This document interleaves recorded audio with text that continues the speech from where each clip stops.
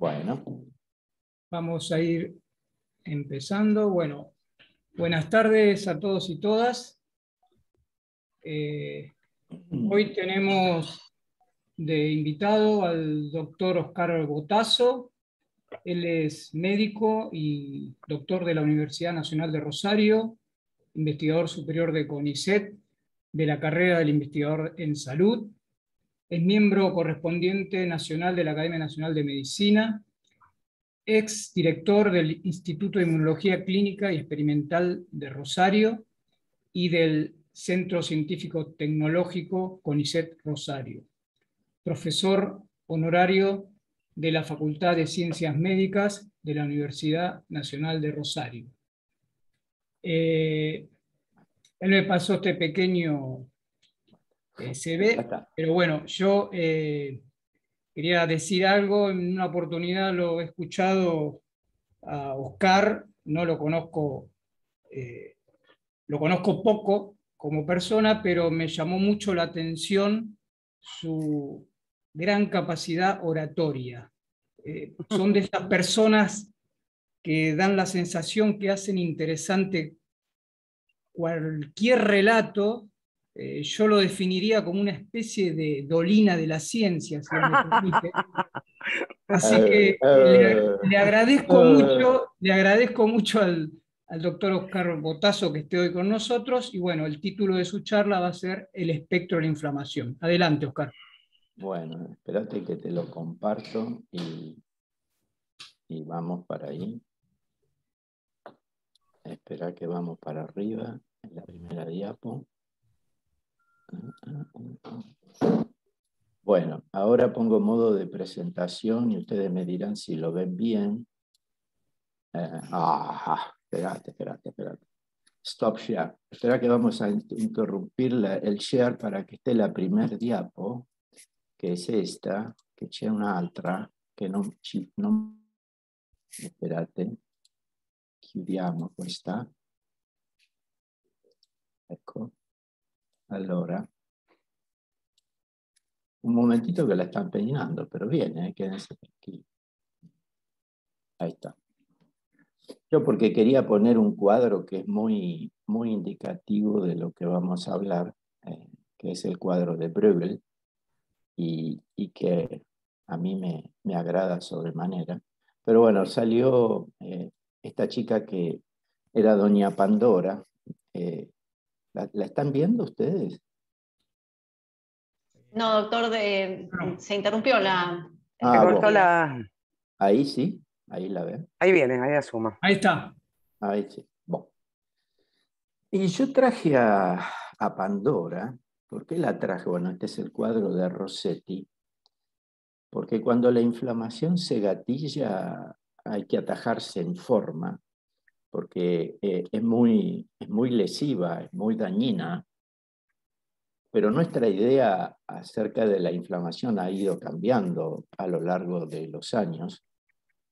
Hace más de 100, más de 100, el, gran, un gran maestro de la medicina venerado por todos nosotros, que fue Osler, dijo, si uno ah, sabe todos los diagnósticos diferenciales de sífilis, sabe la medicina interna. Yo hablé con Osler eh, por WhatsApp y le dije si él me permitía que yo cambiara un poquito eso que él había dicho para adaptarlo y decir que si uno sabe todos los mecanismos que lleva la inflamación, sabe un buen pedazo de medicina interna. Hay tres grandes pilares de enfermarse una es por degenerativas, otra es por neoplasias y otra es por inflamación, en un amplio sentido, no en esa vieja inflamación que a mí me tocó aprender en el año 73, que era esta que está acá en rojo y que ya no es tan así. Y inflamación viene del latín que quiere decir inflamatio, inflamatio en las llamas.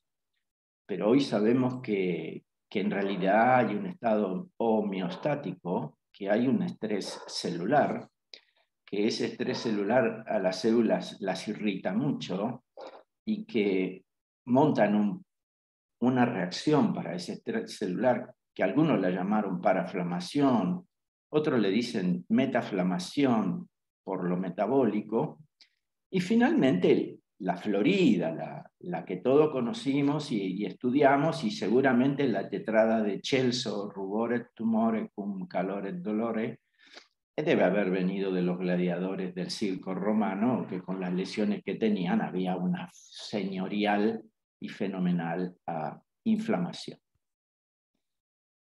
Uno, si, si, ¿cómo lo estudié yo? ¿Cómo la estudié yo? Bueno, miren, lo que yo estudié, este, esta columna de, la derecha, la, tercera, no, no, existía. La inflamación era una reacción ante una infección que involucraba un daño tisular para proteger o reparar. Pero en reparar había dos grandes vertientes. Una es la regeneración ad libitum y otra es la reparación propiamente dicha, que se sustituye con tejido ah, fibroso. Y eso en realidad de bueno no tiene nada, porque si a uno esto le toca en el miocardio, uno quiere seguir teniendo el músculo y no tejido fibroso porque le va a caer la fracción de eyección. Por aquel momento, también nos decíamos que si había fracasos o fallas en este proceso de reparación, íbamos a tener la fibrosis, las displasias, y, todos sabíamos que en un lugar donde había habido, por ejemplo, una micosis profunda a nivel de la piel, también podía haber con el tiempo un crecimiento tumoral. Y del otro lado se decía que si los mecanismos de protección no, no, no andaban muy bien, también iban de la mano la autoinmunidad y ya por, el, por, el año, por la década del 90 más o menos, empieza a aparecer el síndrome de respuesta inflamatoria sistémica y la gran vedette, la que fue siempre la, diosa de, de, este evento, que era la sepsis. Pero si hay algo que va a ocurrir en la medicina es complicarse, nunca va a ser simple, y todo lo que de entrada parece simple después tiene muchos vericuetos. Eh, empieza a aparecer esta idea del estrés tisular, la adaptación al estrés, la restauración de la homeostasis y las enfermedades por alteración de la homeostasis o la carga alostática, si ustedes quieren, eh, que es un concepto ah, más abarcativo.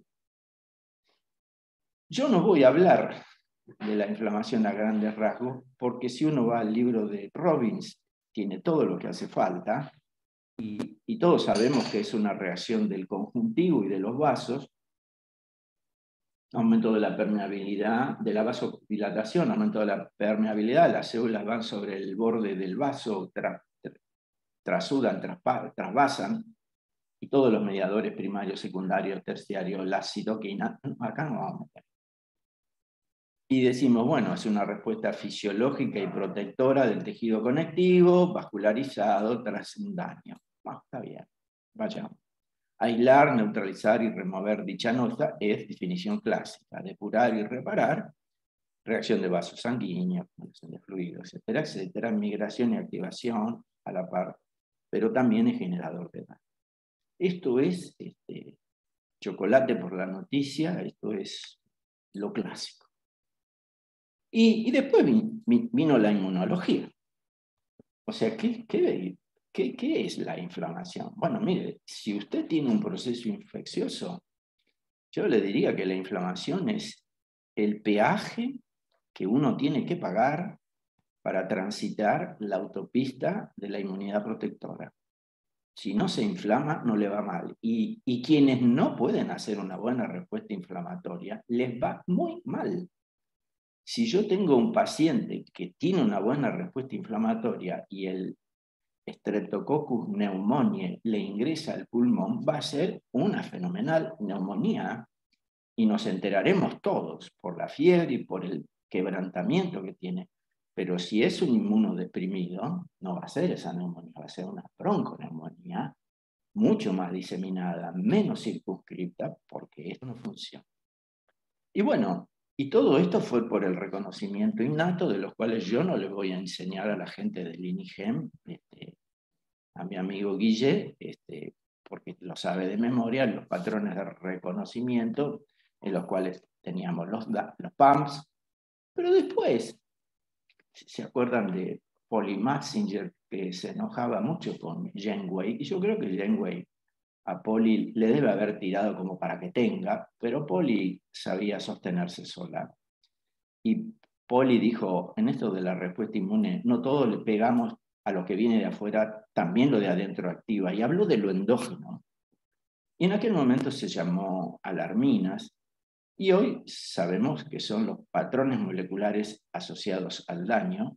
Esto tuvo mucha resistencia, mucha resistencia, y después hay que mirarlo, llegado a un punto, conviene tomar distancia y mirarlo desde, sí se puede, ¿eh?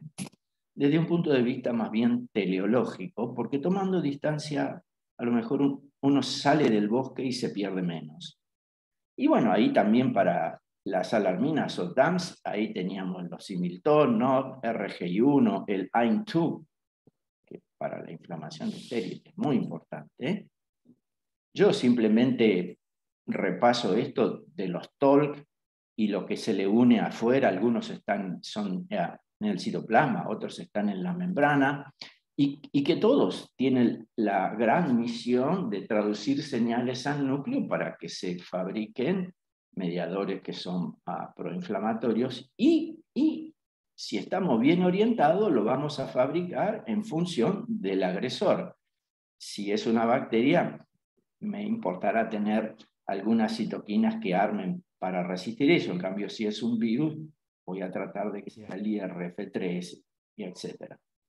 Pero bueno, por el 2000 y Chirola apareció la otra vez de Esto de los toll-like fue una historia de Beutler y Cherami, que en realidad uh, toll no es la palabra en inglés que quiere decir peaje, sino que viene del alemán que quiere decir cáspita, y que fue cuando en el laboratorio de esta mujer encontraron que la drosófila cuando veía a un hongo generaba una proteína como para defenderse y era parecida a otra proteína que le habían llamado TOL por cáspita. Yo creo que si fuera un, un laboratorio argentino nadie le hubiera puesto cáspita. Ustedes le habríamos puesto nosotros. Y bueno, y quedó TOL, y después vino el inflamasoma con una primer señal, con una segunda señal, y, el tema de la caspasa, ProIL1 beta, ProIL18. Y después se agregó la gasdermina por la pirotosis, ya que estamos, compliquémosla un poco, y en este momento, si uno quiere hablar de muerte celular, cuando yo la estudié todo era necrosis. Hoy hay una sola necrosis que quedó en pie, una sola, que la llamamos necrosis incidental, y es por taponamiento de un vaso por una trombosis. Todas las demás son necrosis programada o de última apoptosis. Esa necrosis solita de 40 años atrás eh, no existe más. Pero si, lo que viene de afuera es tan importante, a uno lo asusta lo que viene de adentro también, ¿no? Ah, y entonces uno dice, bueno, patrones moleculares no infecciosos, los DAMs intracelulares.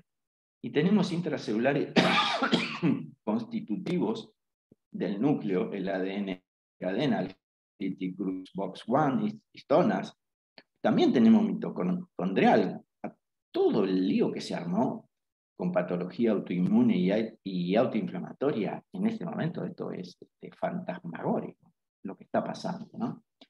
Y uno dice, bueno, intracelulares constitutivos, eh, y tenemos, además de nucleares y de la mitocondria, citosólicos, ATP, la proteína S100, tioredoxina, iones calcios y esta Col-Inducible RNA Binding Protein, pero no, no termina ahí. Tenemos intracelulares inducibles. Galetina, defensina, calreticulina, la Hickshot, y todas funcionan como DAM. Y uno dice, a esta altura yo ya tengo una gana de irme, ¿cómo vamos a manejar todo eso? De ahí, este cuadro de, de Pandora, ¿no? Cuando esto se despierta, sale de todo. Y extracelulares. sobre todo la matriz extracelular, todo lo que hay acá, que, que ustedes también lo conocen, e implicado en distintas cosas. Y finalmente, como si fuera poco, ahora tenemos los LAMPS y los MAMPS. Los patrones moleculares asociados los patrones moleculares asociados al metabolismo. Y bueno, acá ponemos algunas cosas. Vale decir, de alguna manera esto se tiene que, llevar a cabo, esto se tiene que desencadenar. Y obviamente, para que haya tantas posibilidades de inflamar, no me animo a decir la palabra pleiotrópica, pero sí redundante, evidentemente, teleológicamente y evolutivamente hay una razón fundamental. Después aparece el inflamasoma AIM2 dentro de los, de los PRN citoplasmáticos tenemos los receptores estos y el, el AIM2, receptor ausente de melanoma, en, inmunología y en estas cosas hay nombres desgraciados. Un primer nombre desgraciado es TNF, Tumor Necrosis Factor. ¿Por qué? Y porque el primero que lo encontró, lo encontró en tejido tumoral necrosado y le puso eso. Bueno, pero se lo podríamos haber cambiado. Y después tenemos otro que, tampoco tiene un título feliz, que es Transforming Growth Factor Beta. Nada feliz, para nada feliz. Y sin embargo, nosotros tenemos que andar explicando que corno quiere decir TGF, beta 1, y bueno, y así estamos. Bueno, y este también, EIN2 tiene esto, eh, varía entre los mamíferos, 4 en humanos y 13 en ratones, ensambla su inflamasoma en respuesta a esto, este es el infierno tan genial. El ADN bicatenario citosólico impulsa la piroptosis y bueno, y aunque es protector en enfermedades infecciosas, en las estériles, que no hay nada estéril, pero algo hay, algún nombre hay que darlo a, efectos de poder hablar para tener un lenguaje, una jerga, eh, tiene mucho que ver. Y bueno, ah, se ve en psoriasis, dermatitis atópica, dermatitis de contacto, la liberación de IL-1 inducida por este citosólico en queratinocitos indica la participación de esto y la producción de IL-1 beta, o el ADN necrótico en el riñón puede ser reconocido por este inflamasoma. Y piensen ustedes que cualquier, cualquier problema de hipoperfusión a nivel renal, el primero que la liga es el túbulo contorneado. Y, ahí seguro que va a haber necrosis, porque es un tejido muy sensible y el festival que, se puede, que puede ocurrir por el aumento de este ADN mitocondrial libre de, de células, que también se lo vio en la, en la, diabetes, y acá hay gente que lo estudia y debe andar moviéndose en, este tipo de cosas. O la activación de la inflamasoma AIM2 en neuronas por líquido cefalorraquídeo de pacientes con lesión cerebral traumática fíjense lo que hay, ¿no? O el papel perjudicial de AIM2 en la lesión cerebral isquémica en un modelo morino de ACV. O sea, es tan poco lo que queda por fuera de la inflamación, tan poco, y que lo invade y cada vez más, de modo que estamos ante una fenomenal complejidad que la tenemos que repartir en pedazos, siguiendo el mandato newtoniano, eh, los sistemas complejos también este muchacho de Kant. Pero sí, después hay que tomar la visión de distancia para meterlo todo junto, porque la suma de las partes no hace al todo. Y bueno, esto es simplemente el ADN doble cadena liberado por células necróticas durante aterosclerosis avanzada activa AIM2, y esto tiene mucho que ver, son ejemplos para mostrarles, y este que a mí me, gusta mucho, ¿no? La lesión renal aguda conduce a la necrosis de células tubulares y, y, cualquier cuadro de hipoperfusión puede dar esto. Y uno lo ve ahí en el laboratorio que el paciente ha tenido una necrosis tubular aguda. Y, todo esto es lo que puede terminar. Y, está metido el, el AIM2. Y después apareció lo otro. Cualquiera de ustedes habrá enseñado, igual que yo, que los anticuerpos anti-DNA nativos de las calagenopatías eran epifenómenos. Yo al menos lo conté esto. Pues yo tengo enormes dudas de si eran epifenómenos, pero fenomenales dudas, porque hoy sabemos que la acumulación de ADN en sanguíneo hay que sacarla rápidamente para minimizar la inflamación y la autoinmunidad, y para eso tenemos las ADNasa, y que todo, toda esta historia está vinculada al lupus, pero en otras enfermedades autoinmunes, y probablemente esto se volvió también inmunogénico. Y eso que nosotros decimos anticuerpo, anti-DNA nativo, ah, midámoslo por el FAN o los distintos anticuerpos, a lo mejor no eran nada epifenoménico, sino que esto estaba muy involucrado. Este ADN extracelular que no debería salir de la célula, ni del núcleo de la célula o ir al citosol, ni de la mitocondria. Y bueno, y está metido en esto. Y esto ustedes lo saben mejor que yo, todo lo que es el, eh, el, ADN doble cadena activa la sintasa cíclica citosólica GNP, el CIGAS, por infección o estrés celular, y que lleva la síntesis de GMP MPC cíclico y todo lo que termina con la activación de STING, que está vinculado a los interferones, al, gen regulador del interferón y al NFKB, le hace a inflamación. No, no me voy a detener porque quiero llegar a otro lugar, no, no me voy a abocar a esta cuestión. Entonces, habiendo visto que este, este problema es, tan vasto realmente, ¿por qué es vasto de verdad? ¿Qué corno es esta inflamación? ¿Cómo la, cómo la clasificamos hoy? Y yo diría que hay una que es microbiana, la que yo estudié, hay otra que es autoinmune, que también la estudié allá por los años 70. La alérgica también la podríamos poner, pero ahora tenemos la, la metabólica. Supimos de la física, se nos sumaron las de la inmunidad innata, las autoinflamatorias, que algo vamos a decir, y yo no sé si metemos ahí inflammaging, inmunosenescencia, o este caso que ahora les voy a contar. De modo que si uno mira todo esto y ve el rango de expansión fisiopatogénico, es muy poco lo que queda por fuera de la gran patología médica y todo tiene en el medio, en más o en menos, un mecanismo inflamatorio. Incluso la inmunosenescencia, hay gente que dice que, que quien tiene inflamación crónica es más inmunosenescente.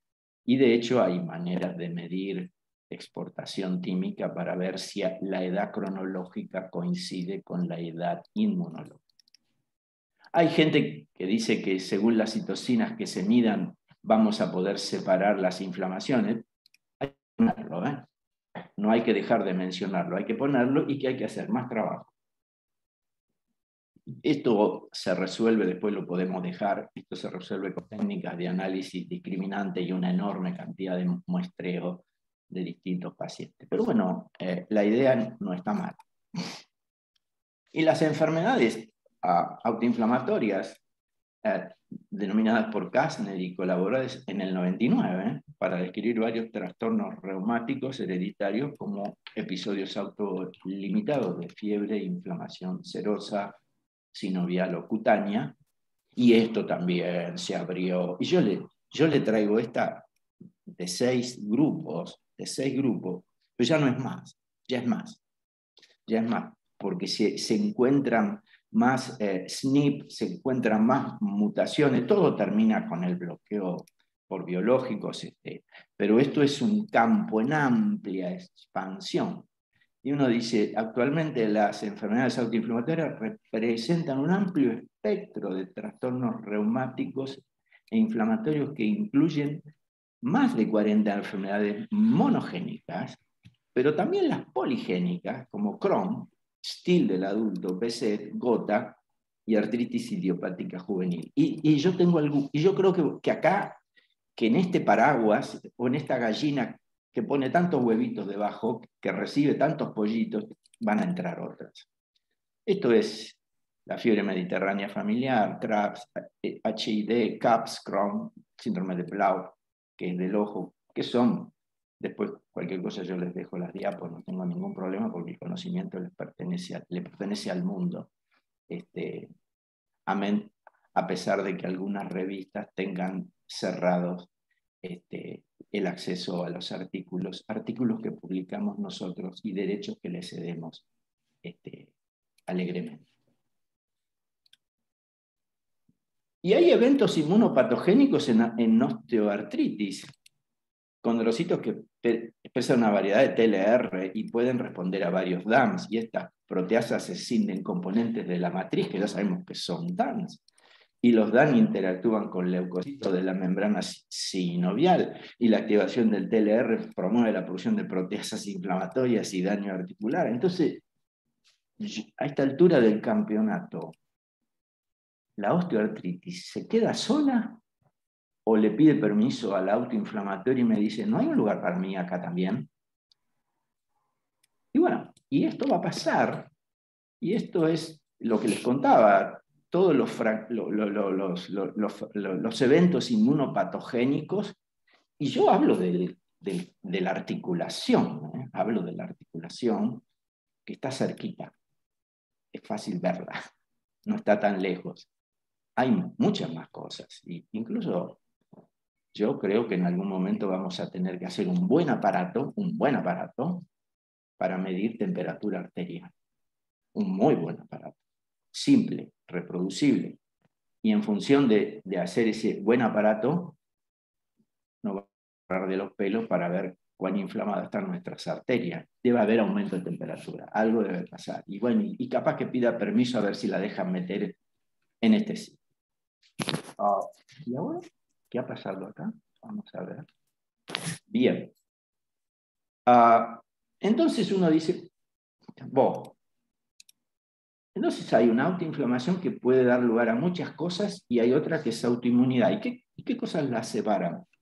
Que en la autoinflamación lo adaptativo tiene poca voz, poca voz, y en la autoinmunidad es mucho más adaptativo. Pero, pero los mecanismos convergen al final.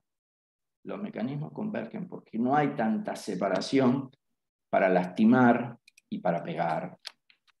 Y uno mira este trabajo de New England del año pasado de enfermedades inflamatorias inmunomediadas, y ahí ponemos articulación, las vértebras, el en el colon, la piel, y ahí artritis reumatoidea, psoriasis, la juvenil, eh, la espondilitis, Crohn, colitis ulcerosa, y, y, todos los mecanismos que pueden tener que ver y obviamente por dónde lo bloqueamos. Yo no quiero entrar a hablar de los biológicos, este, porque hay cosas que están claras y otras que no tanto, después cualquier cosa lo, podemos ver, porque estamos ante un evento que es muy redundante, ¿eh?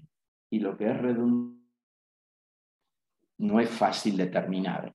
Incluso cuando uno bloquea un mediador, el sistema inmune tiende a compensar. Entonces, está bien, tal mediador está bloqueado, pero se eleva otro en compensación y, eso uno no lo mide, pero podría tener que ver con la historia. Y bueno, y ahí uno tiene artritis reumatoidea, colitis ulcerosa, Crohn, eh, artritis psoriásica, espondilitis anquilosante, y, y, ponemos acá simplemente para ilustrar que hay, hay un mix, hay un mix entre algunas cosas que son innatas y otras adaptativas, y que yo lo tengo que separar para poder enseñarlo.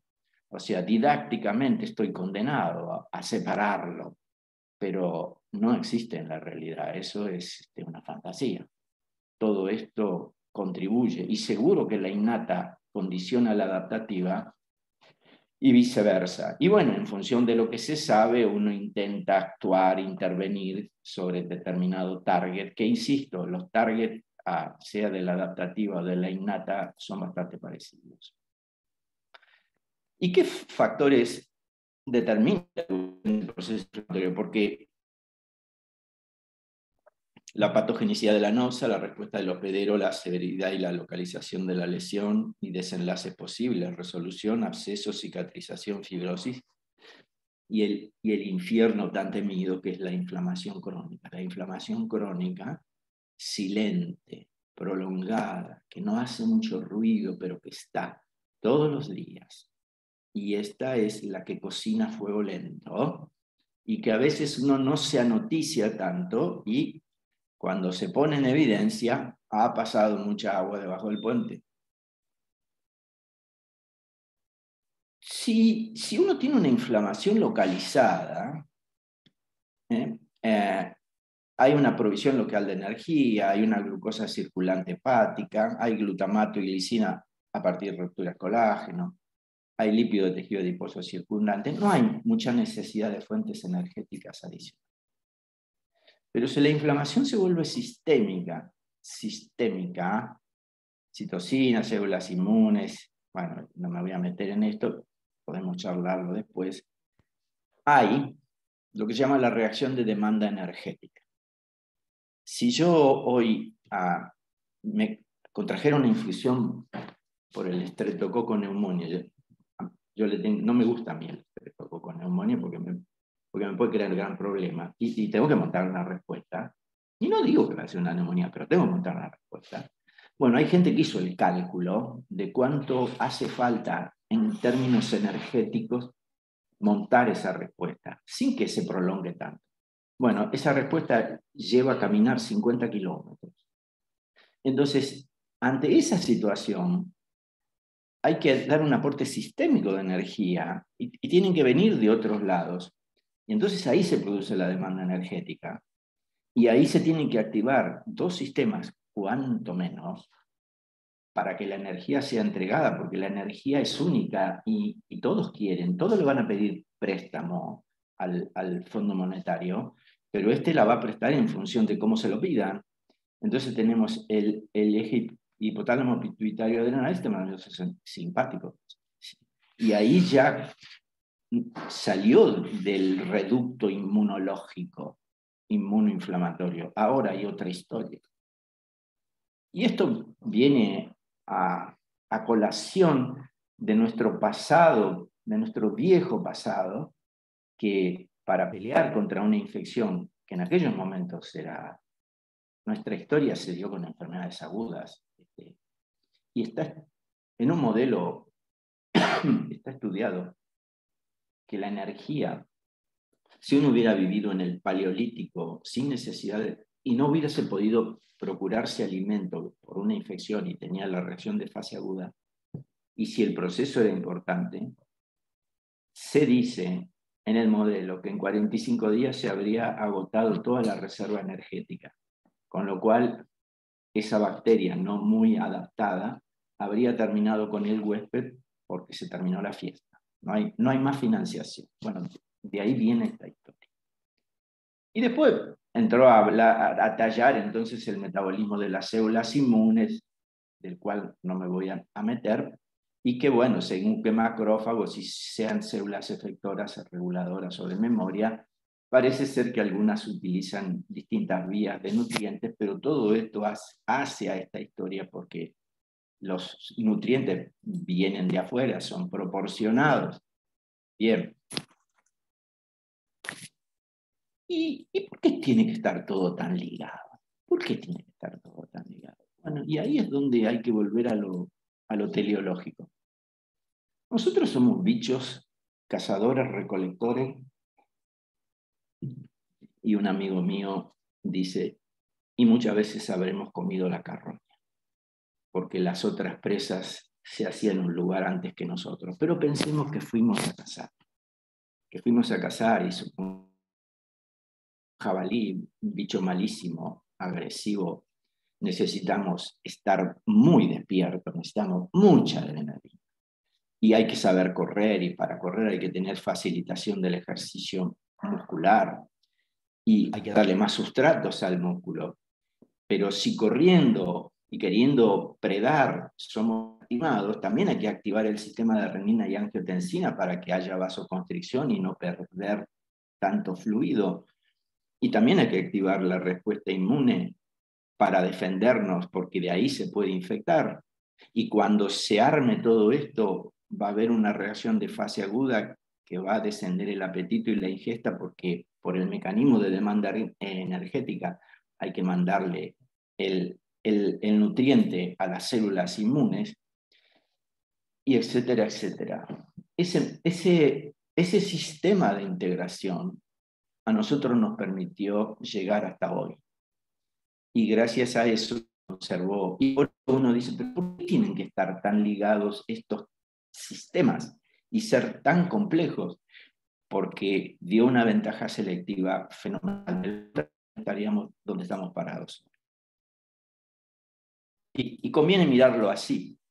Y bueno, entonces ya hay una regulación extrínseca de la respuesta inmune, de la respuesta inflamatoria, al cual yo no voy a entrar ahora, es un tema largo, pero simplemente repasarlo, el sistema nervioso autónomo simpático, parasimpático y el adrenal. No nos vamos a meter mucho más con esto, esto es mucho más complejo. Pero sí, con estas dos grandes hormonas, el cortisol y la de hidroepiandrosterona, que son una suerte de yin y yang en nuestro resistir ante esto, porque además de la inflamación hay que tener algún mecanismo desde afuera regulatorio, después lo podemos charlar. Y el sistema simpático y parasimpático, donde hay funciones antagonistas, convergentes y secuenciales, y uno sabe que lo simpático a veces es proinflamatorio, a veces es antiinflamatorio, en tanto que lo parasimpático siempre va a ser antiinflamatorio porque la acetilcolina antiinflama y bueno, y todo lo que está en este momento en boga con el nervio vago y si los estímulos pasan por el centro esplénico, por el nervio esplénico el ganglio mesentérico superior y los linfocitos chat positivos que fabrican acetilcolina y, y, lo dejamos allí, y cuántos receptores beta adrenérgicos o alfa adrenérgicos tienen las células inmunes y cómo varía, bueno, también aquí hay, hay mucho que hablar. Y todo esto, porque desde los 60 aparece el término de alostáticos, mantener la estabilidad del cambio, los mecanismos neurales que ponen en marcha para recuperar esto, y bueno, y la noción de carga alostática, que a algunos no le gusta, pero viene bien, yo creo, por activación frecuente y reiterada, por falta de freno de los mismas, por respuesta de, proporcionada, y bueno, y estamos ahí con el tema de la carga alostática y puede funcionar. Cierto es, cierto es que si uno tiene esta si tiene enfermedad inflamatoria crónica, pero ahora no le pongo apellido, yo digo enfermedad inflamatoria crónica, no digo a raíz de qué. Cierto es que esto tiene una secuela energética de financiación. Entonces, dependiendo de qué estímulo gatilla, yo voy a dar una, una tira, una ristra de secuelas, que puede ser quebrantamiento, anorexia, malnutrición, destrucción muscular, caquexia, resistencia insulínica, dislipidémica, adiposidad, cambio del HPA y el gonadal, aumento de, eh, de fibras nerviosas simpáticas y, y, caída de las locales, hasta puede haber hipertensión, menos tono parasimpático, anemia y osteopenia. Cada una tiene alguna explicación que aquí está resumida, ¿eh? es más complejo. Pero, por ejemplo, por ejemplo, a la tuberculosis y a la sífilis les toca la caquexia. En cambio, a muchas otras enfermedades inflamatorias va, a estar marcada por la resistencia insulínica y, por ejemplo, la lepra lepromatosa tenía osteopenia y anemia. Y qué pena que yo ya no estoy para poder meterle el diente a la osteopenia de la lepra lepromatosa, porque evidentemente algo de esto tiene que haber estado metido en toda esta historia que a mí me interesó eh, durante cuatro años. Y esto les dejo para cerrar. Este, este trabajo es un trabajo transgresor, un espanto. Un trabajo publicado en Cell el año pasado. ¿Qué encontraron estos muchachos? Neuronas específicas en la corteza insular posterior del ratón que se activaban durante una colitis experimental, inducida por destransulfato, y otras neuronas que se activaban durante una peritonitis química por simosan. Eh, el destransulfato y el simosan se degradan y esto pasa. Disminuida la inflamación, los investigadores activaron las neuronas respondedoras a la colitis y esto provocó una recurrencia de la acumulación de linfocitos en la mucosa colónica, en tanto que la activación de las neuronas reactivas a la peritonitis, provocó algunos procesos inflamatorios con acumulaciones celulares y elevación de citocinas similar al cuadro original. ¿Qué hay? Una memoria neural de la inflamación. Nos acordamos de la inflamación. Ha de ser tan importante que no hay que perder este registro. Y si otra vía llega a ese lugar del registro, ¿qué puede despertar? O si tenemos alguna patología que afecta a las zonas de registro, ¿cómo nos irá? Eh, hay más preguntas para contestar que tiempo de lo que tenemos por delante. Y bueno, esta es dos cuadros de Magritte que a mí me gustan mucho porque son cuadros que llaman a una gran reflexión. Visto desde la investigación, yo diría que este es un estudio descriptivo de la realidad de aquellos, un estudio espectacular porque pinta la realidad casi como es, excepto que por este costado del bastidor uno se da cuenta que es un cuadro. Y este cuadro es el razonamiento inductivo e inferencial que hacemos todos nosotros cuando tenemos datos. Los datos nunca dicen nada. Los que decimos somos nosotros.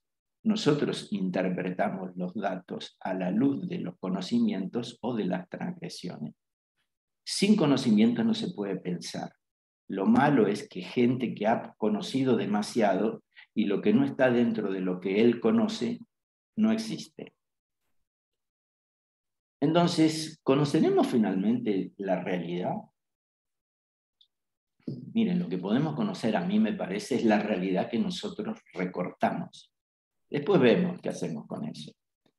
Mirar selectivamente y desarrollar una hipótesis excluye, excluye buena parte de la realidad, porque eso está restricto a lo que uno mide y el objeto no es lo mismo, pero, pero hay que darle vuelta a todo esto. No se puede medir ese universo todo el tiempo y de todas las maneras, y hay un elemento de ficción en mi interpretación teórica, pero si yo le doy vuelta al magín y miro y confronto y leo y voy de aquí para allá, alguna idea, alguna luz al final del fondo ah, se va a dar. Y entonces la pregunta es, ¿son útiles tales ficciones? Bueno, eso depende del científico. Lo más importante, lo más importante de una computadora es quien se sienta delante de ella. Y muchas gracias. Bueno, muchísimas gracias, Oscar. Eh, excelente, como siempre. Eh, principalmente las últimas reflexiones. Eh, hay una pregunta de Guillermo. ¿El Guille? Bartolomé, el Guille. No, no la veo. ahora, ahora te la va a hacer ah. con el micrófono directamente. Ah, bien. Guillermo. Hola, Guillermo, ¿podés? Se está conectando. Se está conectando. Ahora sí, ahora sí. ¿Me ah, escuchás? sí, Guillermo. Sí, hay un chiste en todo esto que vos, una palabra que nombrás todo el tiempo en tus charlas y que acá pasó, como que es la palabra crónico, ¿no? Ah. Eh, digamos, la inflamación es un tema, pero la cronicidad me parece que es el tema. Entonces yo me, remito a esto de que vos decís que no estamos más en el paleolítico, entonces el streptococo mucho no nos molesta, tomamos un antibiótico. Ah. Sin embargo, la vida que vivimos, que se prolonga, también nos trae más cronicidad de todas estas microinflamaciones. La pregunta, vos, gallina, es, ¿está bueno vivir tanto? o preocuparse tanto, preocuparse tanto de eh, el estilo tengo de vida. miedo de la respuesta, tengo, me da miedo la respuesta, mira. Eh, yo te voy a decir una cuestión, mm, a ver, Viste que en, fisiología, cuando se rendía fisiología, decía, ¿por qué tenemos que estudiar esto? ¿Para qué y cómo?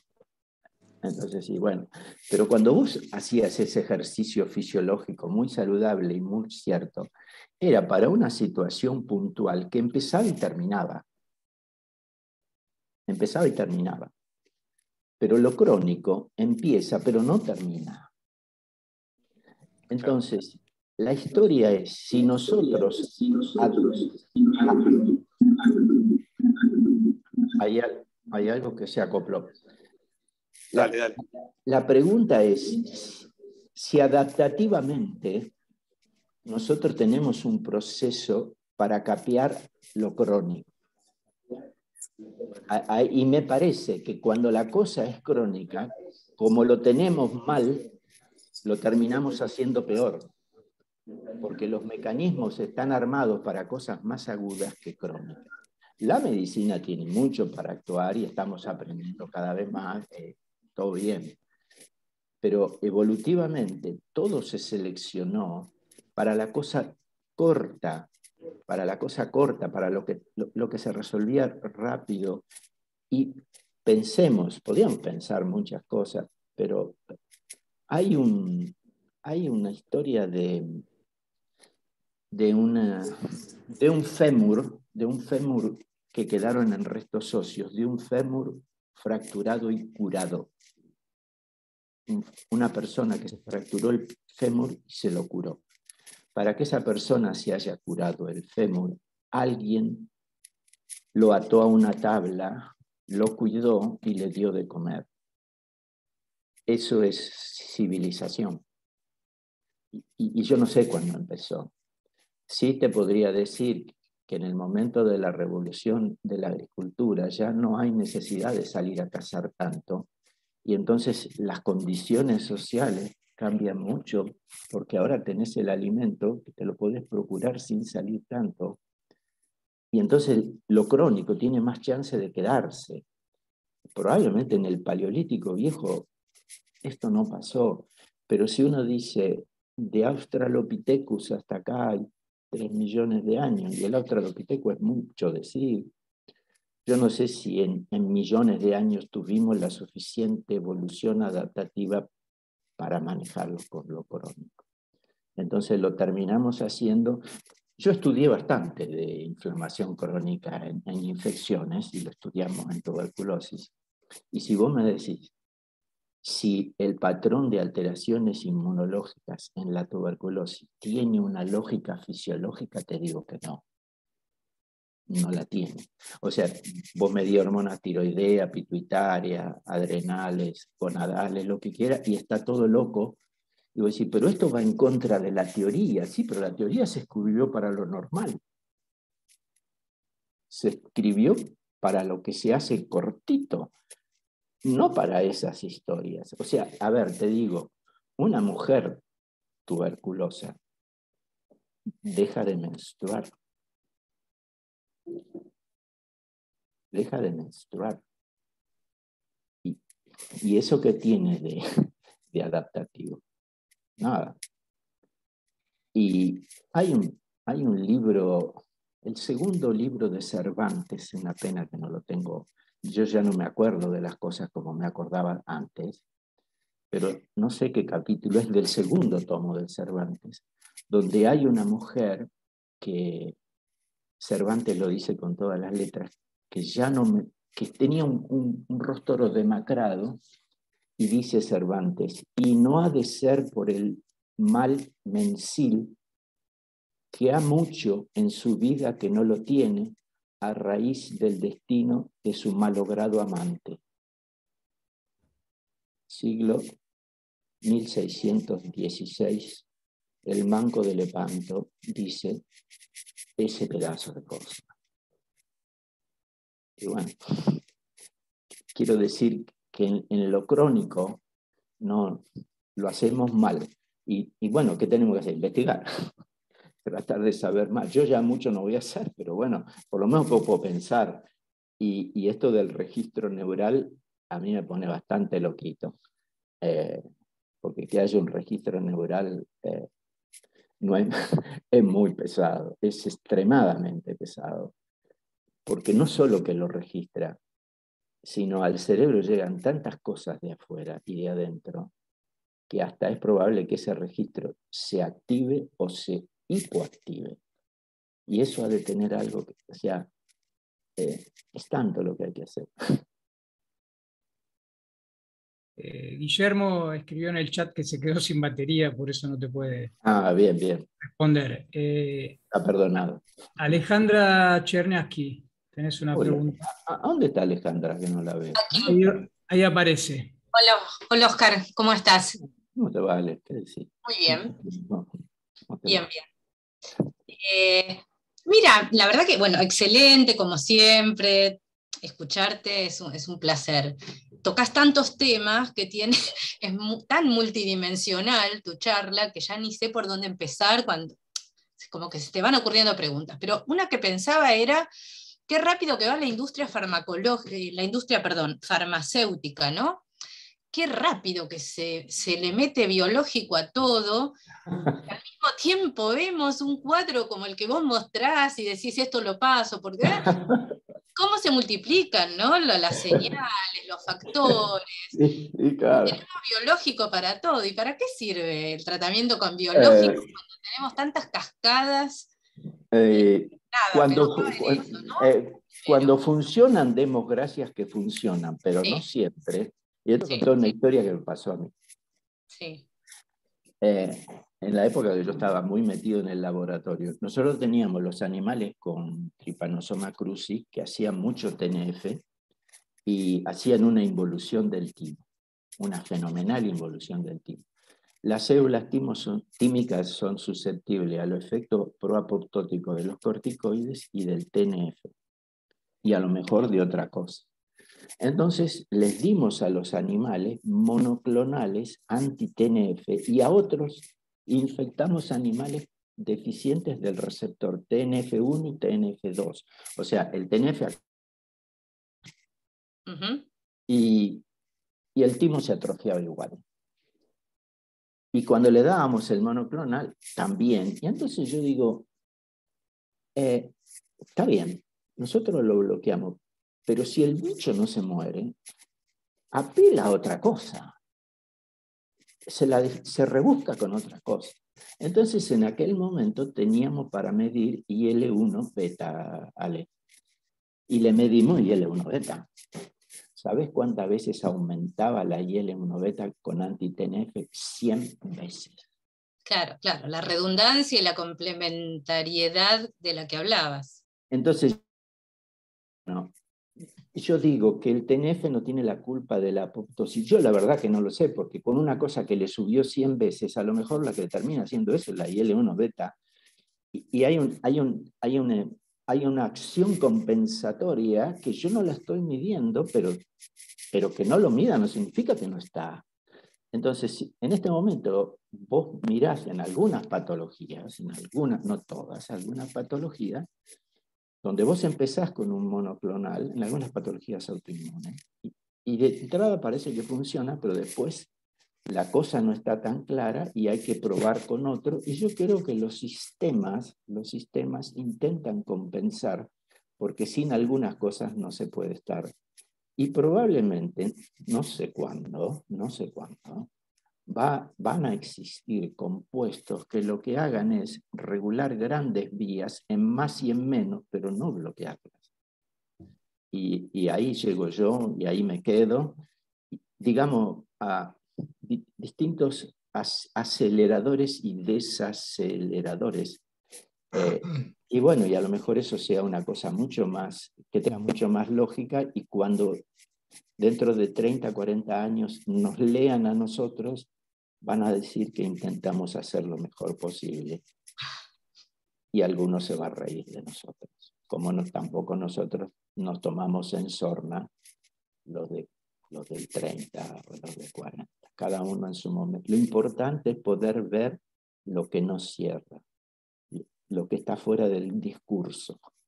Eh, la grieta del discurso, porque si uno se agarra de ahí, tiene, tiene un punto por donde seguir. Este, y, y, aparte, a ver, dentro de la medicina hay un régimen discursivo, un poco Foucaultiano lo mío, pero los médicos tendemos a armar un régimen discursivo. Y cuando armas el régimen, obviamente que el régimen es distorsivo, porque te obliga a que te metas en eso. Bueno, no, ¿se puede vivir estando afuera? No, no se puede, pero por lo menos ser consciente de dónde uno está metido y cómo lo maneja y cómo va, cómo bien. Eso. Entiendo, entiendo, entiendo a lo que vas y, y, pensaba en esto último con lo que vos cerraste casi la charla, de que la descripción del objeto no es algo estático, sino que tiene que ver el contexto. Entonces, Mm. claramente hay un contexto y hay una jerarquía de cosas. Por ahí no le estamos dando con el biológico a, a lo más importante, pero estamos moviendo algo que ¿Qué va a hacer? Hacemos, no eh, hacemos lo que podemos. ¿Sabés, ¿Sabés cuál es el problema, Ale? De salir a declamar. Ahí está el problema. Si yo digo, hacemos lo que podemos y esto más o menos no va bien, sí. Ahora, cuando declamo es otra historia. O sea, ¿estaré yo tan convencido de la declamatoria? No, es el discurso. Claro, ese es un, un- es un recurso de la retórica. eh.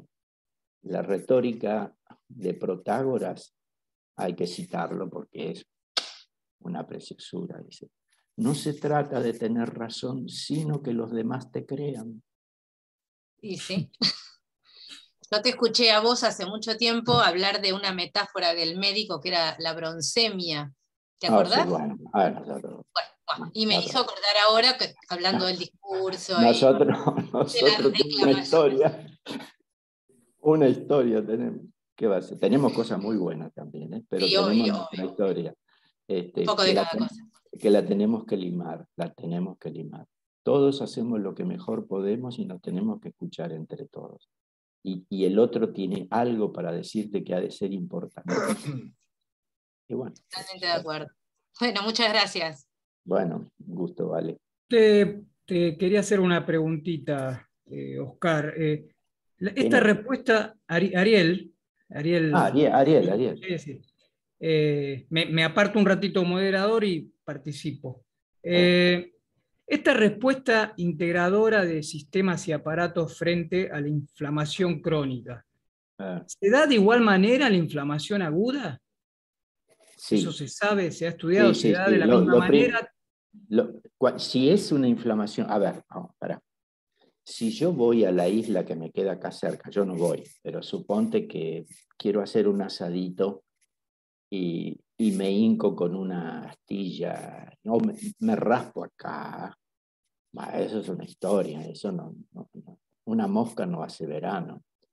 Pero si yo hago una, o sea, yo estoy pu- expuesto a un agente que esté expuesto no significa que me infecte. Si me infecto significa que ha ingresado, ha colonizado y se reproduce dentro de mí. Y el agente tiene un poder patogénico importante. Ahí yo tengo que salir al frente. Nosotros hemos enseñado durante años que el sistema inmune está armado para reaccionar contra lo, lo que viene de afuera. Y yo no estoy tan seguro que sea así. Me parece que lo primero que hace es negociar porque si vamos a actuar cada vez, eh, hay, hay que comer para mantener al sistema inmune. No, no debe ser así. Pero llegado el punto en que hay que montar la respuesta, vos necesitas una gran cantidad de energía que tiene que ir desde el músculo a otro lugar que tiene que ir a las células inmunes, y una de las maneras de hacerlo es creando un cuadro de insulinoresistencia en las demás células, no en las inmunes, porque en las inmunes la glucosa entra por otros transportadores. Y entonces, para hacer ese trabajito, que será una semana, poco más, hay que utilizar otra energía y mandarla allí. Y después eso se resuelve. A lo sumo, cuando el tipo vuelve al laboratorio después de una semana que estuvo con fiebre, que se pasó la gripe, vos lo ves que está un poquito más chupado, pero eso es por el consumo que ha tenido para hacer su proceso, ponele vos. Pero si vos tenés una inflamación crónica solapada, que eso existe y existe y existe, de eso sabemos menos, sabemos menos. Y, bueno, y, y, a- y amerita ser estudiado. La gente que estudia obesidad, diabetes, endocrinopatía, está más adelantada, llega más lejos. Pero va a haber que meterlo en otras cosas me, me- refiero. Ha- Hay, hay que meterlo en otras patologías. La reacción de fase aguda es una reacción que te da adormecimiento, te manda a la cama. ¿Por qué te, te va a dar adormecimiento y te manda a la cama? Porque la energía del músculo se la llevaron a otro lugar. Y no te tengo que dar un antiinflamatorio para que camines. Te tengo que dejar en la cama. Porque tu organismo es lo que está necesitando en ese momento. No te tengo que dar ibuprofeno. Está mal que te, que te dé eso. Tengo que, te tenés que quedar en tu casa. Como decían las abuelas, devi covare el influenza. eh, y las abuelas tenían razón. Bueno, muchas gracias. Eloísa Arana, tu pregunta. Hola. Hola. Muy interesante eh, lo que pude escuchar, porque pese a nuestros avances tecnológicos se me desconectó 80 veces, no tenía audio, o sea, me perdí una parte de la charla. Pero sí me llamó la atención, me resulta súper interesante también siempre escucharlo, y mm, en la, cuando le estaba contestando a Guillermo, usted dijo que había eh, algunos cambios en las personas que tienen, eh, cambios fisiológicos en las personas que tienen infecciones crónicas que eran inexplicables. Y mm, yo no sé si mencionó o está al tanto, hay unos estudios muy interesantes en, en malaria, por ejemplo, que es una infección crónica de, de las adaptaciones eh, metabólicas para tratar de disminuir la inmunopatogenia, que están englobadas todas estas adaptaciones metabólicas en esto de disease tolerance, que es un término que eh, inventó Sí. Entonces a mí no me parece que tenga tan poco sentido, no sé si, si habló de esto, si tiene alguna opinión de estos mecanismos de disease tolerance que, que Sí. me interesa mucho en este contexto de inflamación crónica. sí, sí, sí. sí. Eh, la tolerancia a las enfermedades eh, existe y, y podemos dar ejemplos. La lepra lepromatosa es una, una tolerancia a la enfermedad, es una negociación donde el individuo no monta respuesta. El vacilo crece en la de, de una manera bastante irrestricta, bastante, y, y puede vivir tiempo, hasta décadas, con eso. Y si uno a ese paciente lo empieza a tratar y cae la, la masa bacteriana, al caer la masa bacteriana, los mecanismos de supresión de la tolerancia infecciosa que se habían establecido desaparecen.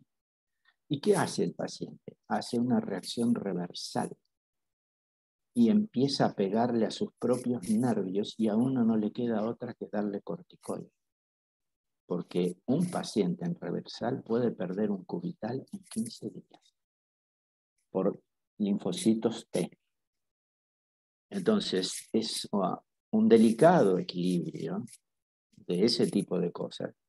Y otro mecanismo uh, de tolerancia infecciosa también lo podríamos ver eh, en toxoplasma, por ejemplo, que se acantona, se queda en un lugar y dice, yo me quedo acá, no hago mucho lío, ustedes me dejan estar.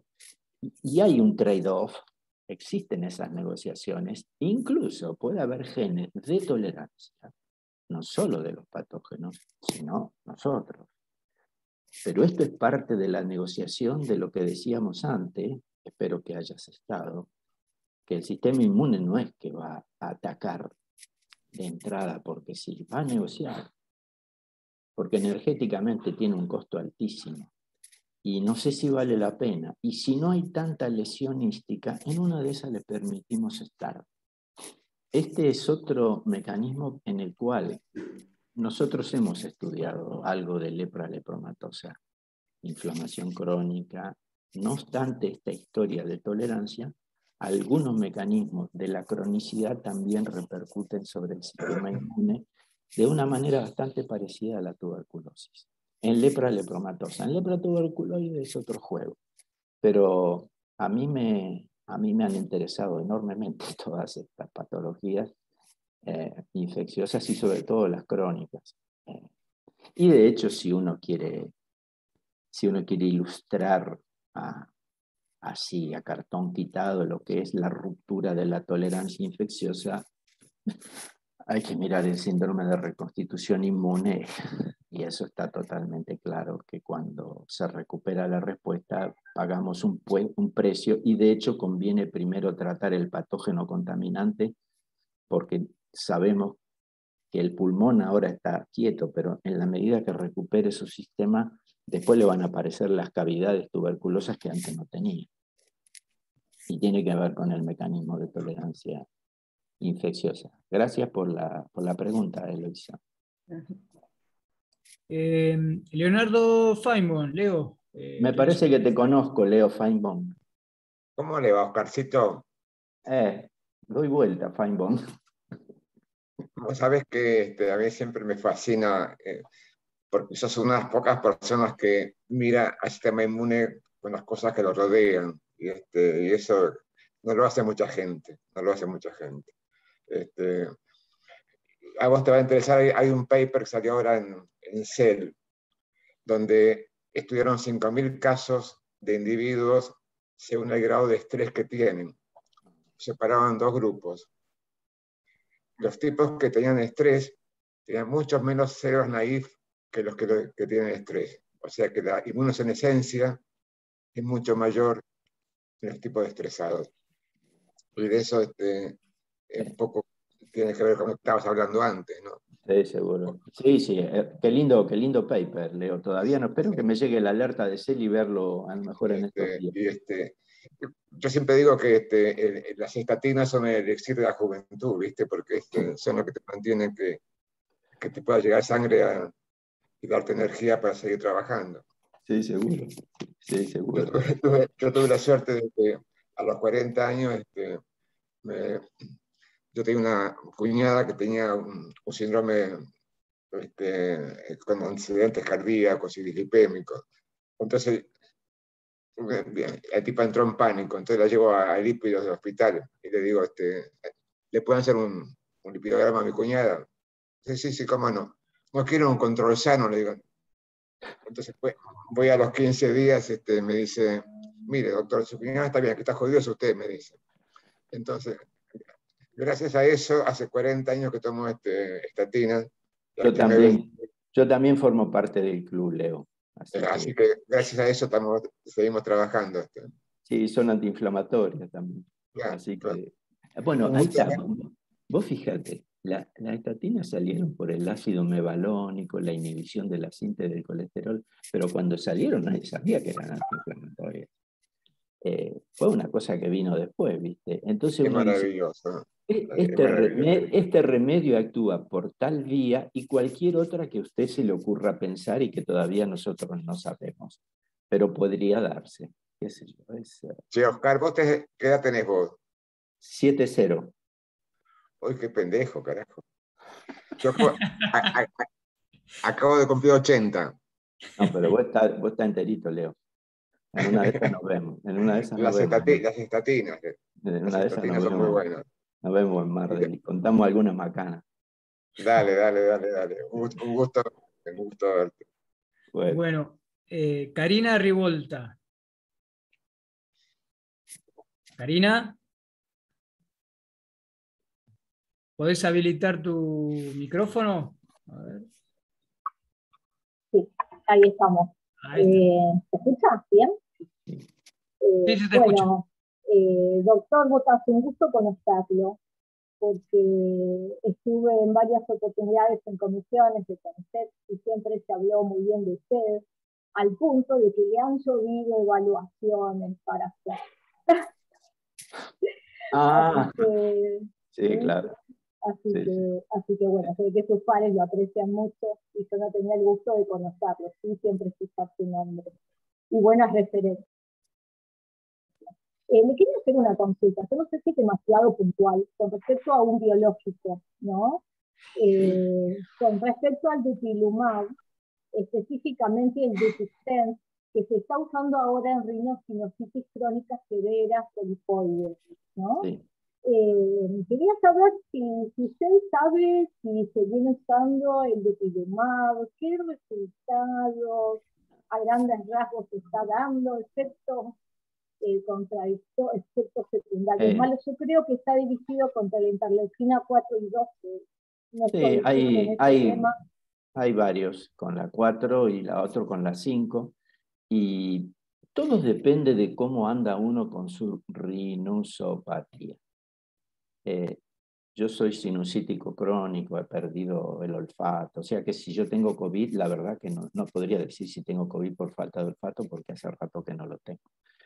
Eh, pero siempre hay, una, hay un escenario en el cual yo me voy a plantar para decir hasta qué punto lo tengo que hacer. Hay pacientes que ameritan probablemente tenerlos y hay otros que está la herramienta, pero yo no sé si la herramienta amerita para tanto.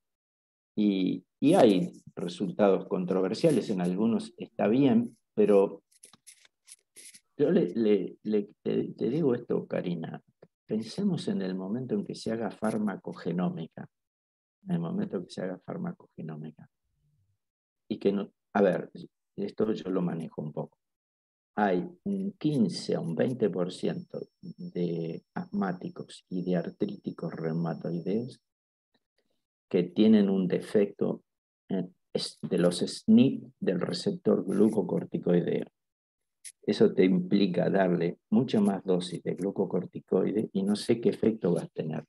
Entonces, hay muchas cosas que nosotros las damos este, porque hicimos un trial y esto funcionó, pero después viene el cuadro de Magritte del huevo y el pájaro. Eh, si ocurrió allí, yo quiero que ocurra aquí, pero en realidad no lo sé. Entonces hay que hacer la experiencia clínica y ver dónde está parado. Y yo como rinosinusal crónico este, voy a seguir apelando a los corticoides tópicos. Eh, porque bloquean muchas vías eh, y, se absorben menos, simplemente. Y lo otro depende de cómo, de cómo va a estar. Es, claro, yo me refería más que nada a esos casos en donde los pacientes tienen si uno, si uno tiene, si uno tiene un chico, tiene, tiene un chico con, con con una, una IgG IGE que está en las nubes, podríamos verlo, pero no, no es lo de todos los días. Lo podríamos ver. Incluso vamos a tener en algunos rinos ilusales crónicos los benditos pólipos. Bueno, si ya hay pólipo, eso es otra historia, porque los pólipos, sangran, obstruyen, impiden respirar, impiden dormir. Bueno, ese es otro escenario. Ahí, ahí ya lo podemos ver pero para todo en cualquier tiempo y lugar no estoy seguro de eso. Bueno, gracias. Pero es un criterio médico, no, no, no tengo la patente de esto. ¿eh? Es criterio médico, ¿no? Es como que a veces se prueban algunos biológicos en algunas patologías, funcionan bien y pasan a extenderlo a otra. ¿no? Entonces, eh, bueno, sobre estos puntuales justamente la, no experiencia. La, Sábato decía que el hombre piensa contra lo que siente, siente contra lo que actúa, actúa con lo que piensa, ¿qué piensa? ¿Eh? Qué profundo lo que dijo este hombre. Y, lo que a uno le pega lo hace pensar. Y la medicina se tiene que confrontar todos los días con cosas que pegan. Y siempre se intenta algo y a lo mejor en algunos funciona, en otros no, pero de ahí a trasladarlo hay que tener eh, cuidado. Eh, hay una vieja palabra aristotélica que se llama frónesis, que es la prudencia. Si uno es prudente, eh, tiene muchas chances de equivocarse un poco menos. Bueno, Isabel, Isabel Pincemín tiene una pregunta. Isabel, por favor, tu micrófono. Acá estoy. Me gustó lo de la frónesis, así que empecemos por ahí. no, yo hago dolor y cuidados paliativos, no estoy en investigación, pero con un grupo de, personas estamos trabajando mucho en dolor miofacial, osteoarticular y eso. Y eh, nos damos hemos obviado el uso de cualquier antiinflamatorio, que generalmente en traumatología se usan muchísimo, sobre la base de la hipótesis de que no debemos controlar la inflamación para que se produzca reparación, digamos. ¿no? Entonces, mi primera pregunta era si usted está de acuerdo con ese, ese criterio. Y la segunda es si en los tejidos dolorosos usted nota como mm, glucopenia, si hay algún estudio en relación con eso. hay dos, a ver si me recupero la pregunta que tiene dos ramas. Eh, la primera es la de los antiinflamatorios.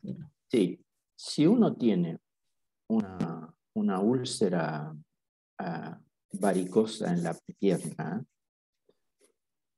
y mira el fondo, hasta que no granula, no va a cerrar. ¿Y, qué, quiere decir la granulación? La neoangiogénesis. O sea, para porque ahí va a reparar por fibrosis. Pero yo con el fenomenal agujero, poco me importa que vuelva a haber piel. Yo quiero que repare. Claro. Entonces, si no hay inflamación que trae de la mano la neoangiogénesis, desista de, de una cura. La otra historia que tiene que ver con dolor e inflamación, eh, no quise entrar acá, es que cuando usted tiene un proceso inflamatorio, algunas fibras, algunas fibras nerviosas tiene como una denervación química. Se lo cuento que nosotros lo hicimos en, los ratones chagásicos. Los ratones cuando tienen ah, la enfermedad aguda tienen esplenomegalia. Un vaso grande. Uno dice, porque los parásitos están allí. Pero, pero y si tienen una mayor vasodilatación y en realidad están llenos de células que van ahí, entonces hay una manera de marcar eso, que es una enzima que es la tiroxina hidroxilasa, que va a dar un neurotransmisor que es dopa y después va a ser la noradrenalina. Y entonces usted tiene que hacer dos cosas. Sacar un vaso de un animal que está en el acme de la infección y sacar un vaso de un animal que se recuperó. En el, animal que está en el acme de la infección no hay tiroxina hidroxilasa. Y en el que se recuperó vuelve. O sea, no es una denervación que se destruye la fibra simpática.